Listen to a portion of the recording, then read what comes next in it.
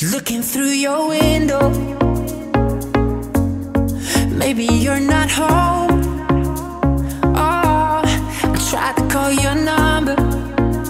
So now I leave another. Pointuddelingen på smukbold, det foregår på den måde, man kan lave tre point i en kamp. Man kan få et point for at vinde selve kampen. I just gotta know how it feels when I hold you close. So tell me what you like, Så kan man få et point for at lave den bedste og flotteste, smukkeste gestus til modstanderne. I'm going out of my mind. Yeah, all I wanna do is make love to you.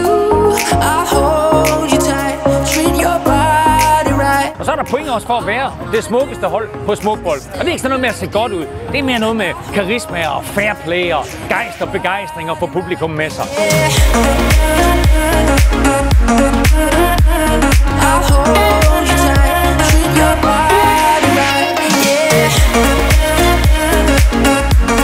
Hvis du ikke har oplevet smukbold endnu, så kom ud og oplev smukbold på kærligheden. Der er en fabelagtig stemning herude.